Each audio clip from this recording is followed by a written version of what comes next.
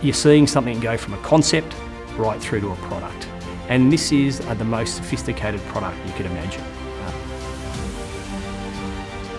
The design effort is not just limited to you know, crafting steel into ships. It's crafting systems to deliver effects.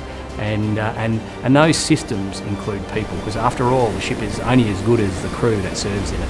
And, and so combining those two to deliver the effect and the people who are part of shipbuilding are part of that journey.